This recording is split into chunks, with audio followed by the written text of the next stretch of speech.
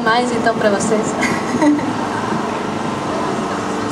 Bom, agora como os próximos eventos, a gente vai, é, a gente na verdade já está começando, né?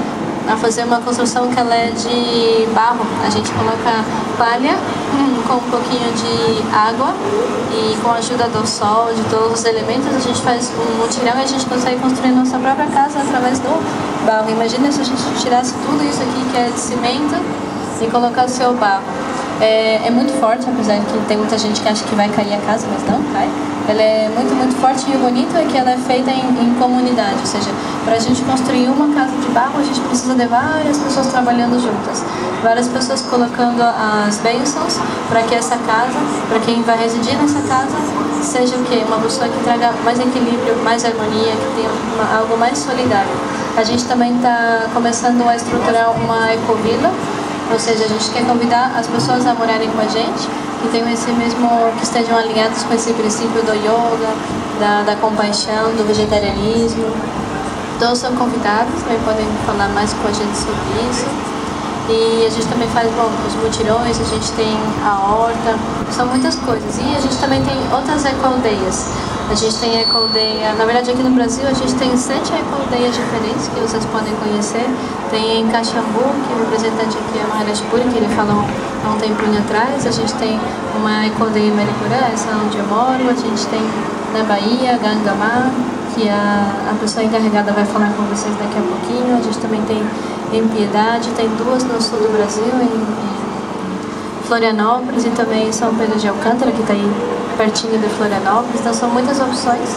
Basta que um dia vocês falem, ah, vou fazer algo diferente, vou visitar uma ecovila, vou fazer voluntariado, vou abrir meu coração, porque como é a lei da natureza, ela é a lei da fortuna, tudo que você dá para ela vai te dar muito, muito, muito, muito mais. Você acha que você está dando, na verdade você vai estar tá recebendo cada vez mais. E vai ter mais vontade de continuar dando mais atenção, mais carinho, se conectar cada vez mais com essa energia bonita. Esse é o nosso convite. Obrigado. O, o trabalho da Mãe Terra é para voluntários que querem ver uma vida diferente.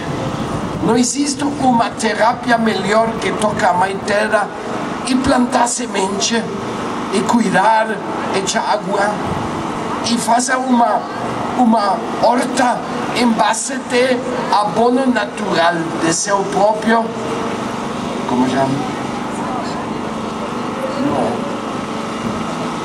Reciclagem das materiais da cozinha, de todo, para que você faça um compost. E com o compost você tem uma comida muito bela, muito deliciosa, sem químico nenhuma. Hoje, quando você compra no supermercado, você não sabe que é o sabor natural das coisas. Já não existe o, o sabor natural. Tem que ver uma fazenda natural para lembrar novamente que é o sabor da natureza. Como hoje você não sabe que é o sabor da água, porque toda água vem no plástico.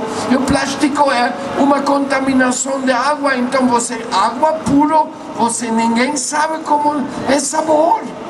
Então, no circuito das águas, em Minas Gerais, em Mariporã, todas as coisas, em Juquitiba, há um programa de proteção das águas, da terra. E isso é com yoga. Yoga não é somente fazer asanas. Existe yoga da terra, da agroconsciência, da responsabilidade. Então, aqui é o exemplo que você tem como jovem idealista que com seus com seu coração aberto chega a Mãe Terra e convida vocês a participar é uma maravilhosa oportunidade eu acho que você podem chegar muito pronto e visitar e fazer parte do, do esforço pioneiro. Muito obrigado. Hare Krishna. E como é? A gente na fazenda tem um, um quarto de luxo ou como é? ou é em pura baraca? Para voluntariado. Uau! Hã? Mas se leva sua baraca, está bem também. Hã? É para pioneiros, para levantar uma universidade céu aberto da sabedoria ancestral. Isso é. E como eu falo antes, Mariporã vai ser o sítio da primeira kiva do Brasil. O templo no coração da Mãe Terra vai estar construído em Mariporã o ano que vem. Então, sejam parte da, de, das pioneiros de fazer isto. E agora, novamente, vou falar as mais mais sofridas de todas as mães são as mães dos animais. Porque eles perdem seus filhos definitivamente quando chega o sistema da depredação dos animais para o consumo de carne. Um consumo que é mau para a saúde. Um consumo que faz mal ao sistema ecológico.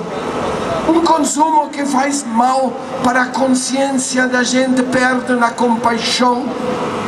Eu quero falar em nome destas mães porque elas não podem falar por si mesmas. Não podem chegar aqui as porquinhos e as vaquinhas para falar, por favor, não matem meus filhos, por favor, não matem minha mãe. Eu não quero isto, eu quero morar juntos, feliz, com minha família, como todos no dia da mãe, visitamos a mãe e a mãe feliz vê seu filhinho, seu filho, filha, filho.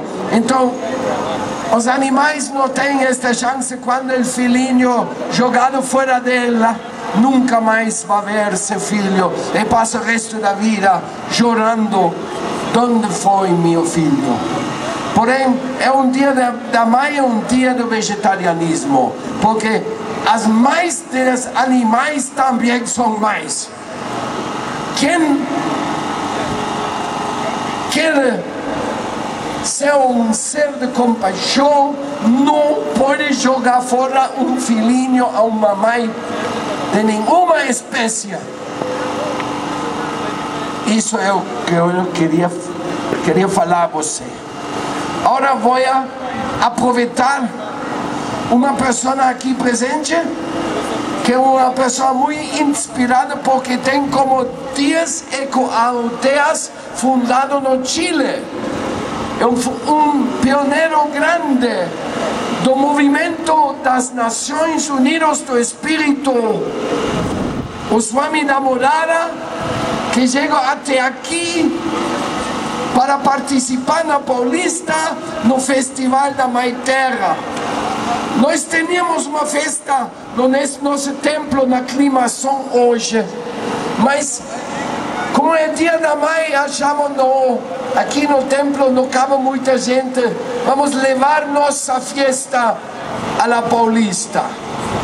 E aqui estamos com vocês e com Damodar Swami, que vai compartilhar com vocês por que ecojoga aldeia, por que vida natural, por que seja vegetariano ou vegano, por que fazer yoga? Por que cantar e falar obrigado, Mãe Terra? Porque Mãe Terra escuta você, assim mesmo como escuta seu mãe quando você fala eu te amo. Obrigado, Mãe.